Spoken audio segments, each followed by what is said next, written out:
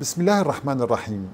يؤكد العلماء وبعد دراسات طويلة أن الكون نشأ من كتلة واحدة ثم انفجرت وتباعدت أجزاؤها مشكلة المجرات والنجوم والكواكب.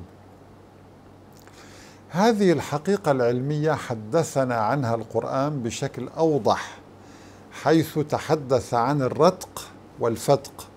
في قوله تعالى أولم يرى الذين كفروا أن السماوات والأرض كانتا رتقا ففتقناهما. والعجيب أن العلماء وجدوا أن شكل الكون يشبه النسيج وهذا يتناسب مع كلمة رتقا. فسبحان الله.